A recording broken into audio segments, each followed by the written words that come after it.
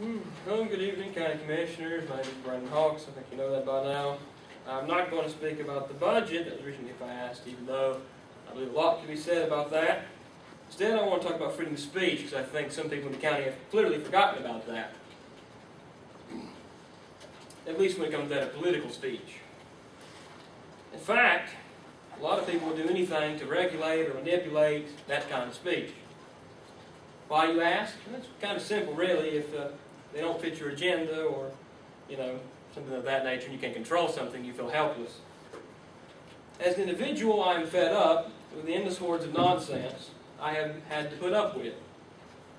Tell me why a group or organization has to be registered on paper to comply with, with the county or any other entity.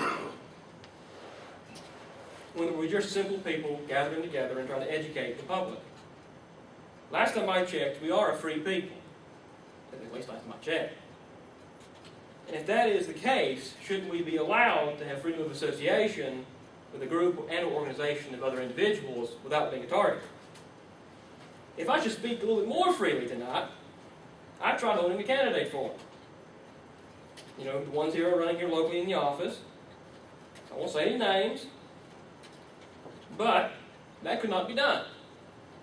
Because to put something on public television, it has to run through kids voting.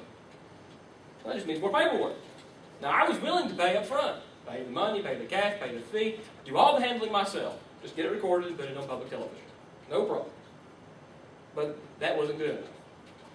I guess we just can't have open debate with citizens coming together. That's just too far out of a question.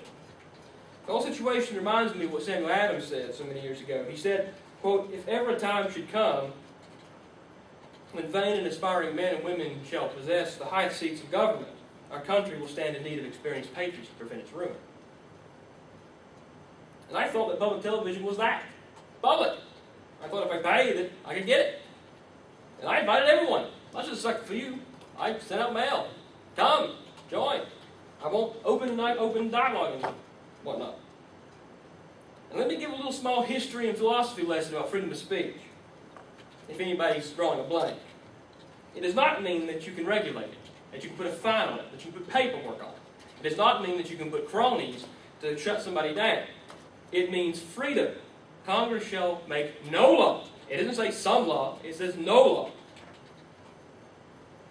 I've been asked with my group to be formed the PAC, the Political Action Committee, for those of you who do not know that, or nonprofit many times.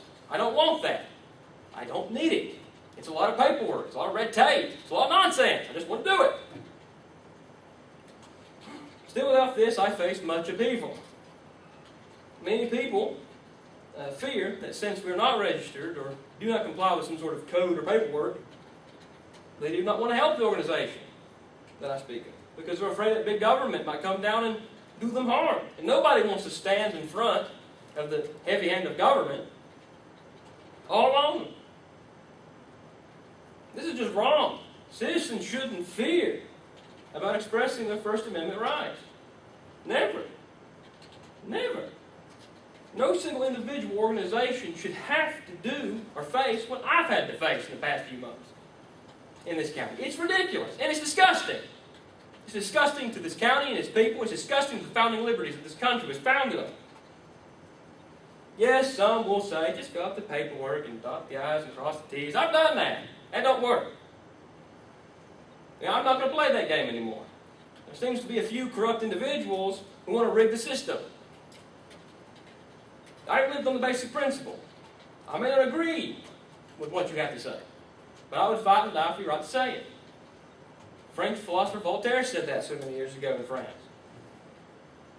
And those who run and hide from freedom of speech are not only cowards, they show the real colors and they talk about their political ideology. If you can't talk to the public about where you stand and what your issues and what you think, you don't need to be running. I'll make that very clear. Now, I could go on and on about what government shouldn't do. But there is one thing government should do, and that is protect its citizens' liberties against other intruding forces. Because if government doesn't, it only leaves the people, us, individuals, to do it on our own. Thank you. Anyone else?